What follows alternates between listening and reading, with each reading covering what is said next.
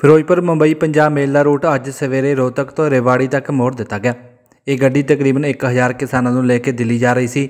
ਮਿਲੀ ਜਾਣਕਾਰੀ ਦੇ ਮੁਤਾਬਕ ਕੱਲ ਰਾਤ ਇਹ ਗੱਡੀ ਫਿਰੋਜ਼ਪੁਰ ਤੋਂ ਚੱਲੀ ਸੀ ਅਤੇ ਅੱਜ ਇਸ ਨੇ ਸਵੇਰੇ 5 ਵਜੇ ਦਿੱਲੀ ਪਹੁੰਚਣਾ ਸੀ। ਪਰ ਕੇਂਦਰ ਤੇ ਹਰਿਆਣਾ ਸਰਕਾਰ ਨੇ ਮਿਲ ਕੇ ਉਸ ਗੱਡੀ ਨੂੰ ਰੋਹਤਕ ਰੋਕ ਲਿਆ ਅਤੇ ਰੋਹਤਕ ਤੋਂ ਉਹਨਾਂ ਨੂੰ ਦਿੱਲੀ ਤੋਂ ਬਾਹਰ-ਬਾਹਰ ਕੱਢ ਕੇ ਬੰਬੇ ਲਿਜਾ ਰਹੀ ਸੀ। ਇਸ ਗੱਡੀ ਵਿੱਚ ਮੌਜੂਦ ਸੈਂਕੜੇ ਕਿਸਾਨ ਹੁਣ ਰੇਵਾੜੀ ਉਤਰ ਗਏ ਨੇ। ਸਰਕਾਰ ਵੱਲੋਂ ਇਹਨਾਂ ਕਿਸਾਨਾਂ ਨੂੰ ਗ੍ਰਿਫਤਾਰ ਕਰਨ ਦੀ ਵੀ ਸੰਭਾਵਨਾ ਜਤਾਈ ਜਾ ਰਹੀ ਹੈ। ਬਿਊਰੋ ਰਿਪੋਰਟ, ਆਵਾਜ਼ੀ ਕਮ ਟੀਵੀ।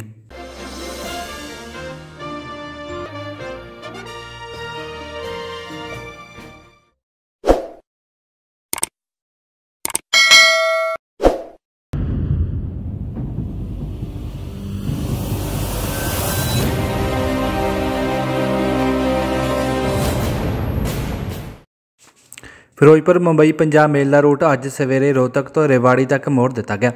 ਇਹ ਗੱਡੀ ਤਕਰੀਬਨ 1000 ਕਿਸਾਨਾਂ ਨੂੰ ਲੈ ਕੇ ਦਿੱਲੀ ਜਾ ਰਹੀ ਸੀ।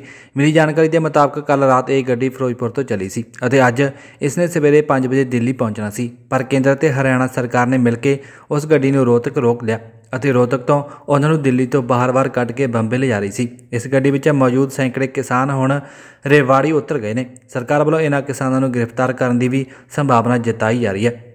ਬਿਊਰੋ ਰਿਪੋਰਟ, ਆਵਾਜ਼ੀ ਕਮ ਟੀਵੀ।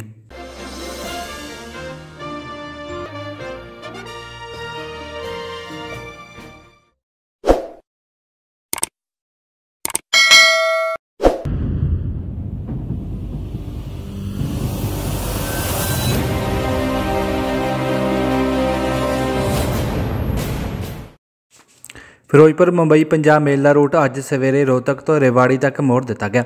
ਇਹ ਗੱਡੀ ਤਕਰੀਬਨ 1000 ਕਿਸਾਨਾਂ ਨੂੰ ਲੈ ਕੇ ਦਿੱਲੀ ਜਾ ਰਹੀ ਸੀ। ਮਿਲੀ ਜਾਣਕਾਰੀ ਦੇ ਮੁਤਾਬਕ ਕੱਲ ਰਾਤ ਇਹ ਗੱਡੀ ਫਿਰੋਜ਼ਪੁਰ ਤੋਂ ਚੱਲੀ ਸੀ ਅਤੇ ਅੱਜ ਇਸ ਨੇ ਸਵੇਰੇ 5 ਵਜੇ ਦਿੱਲੀ ਪਹੁੰਚਣਾ ਸੀ। ਪਰ ਕੇਂਦਰ ਤੇ ਹਰਿਆਣਾ ਸਰਕਾਰ ਨੇ ਮਿਲ ਕੇ ਉਸ ਗੱਡੀ ਨੂੰ ਰੋਹਤਕ ਰੋਕ ਲਿਆ ਅਤੇ ਰੋਹਤਕ ਤੋਂ ਉਹਨਾਂ ਨੂੰ ਦਿੱਲੀ ਤੋਂ ਬਾਹਰ-ਬਾਹਰ ਕੱਢ ਕੇ ਬੰਬੇ ਲਿਜਾ ਰਹੀ ਸੀ। ਇਸ ਗੱਡੀ ਵਿੱਚ ਮੌਜੂਦ ਸੈਂਕੜੇ ਕਿਸਾਨ ਹੁਣ ਰੇਵਾੜੀ ਉਤਰ ਗਏ ਨੇ। ਸਰਕਾਰ ਵੱਲੋਂ ਇਹਨਾਂ ਕਿਸਾਨਾਂ ਨੂੰ ਗ੍ਰਿਫਤਾਰ ਕਰਨ ਦੀ ਵੀ ਸੰਭਾਵਨਾ ਜਤਾਈ ਜਾ ਰਹੀ ਹੈ। ਬਿਊਰੋ ਰਿਪੋਰਟ ਆਵਾਜ਼ੀ ਕਮ ਟੀਵੀ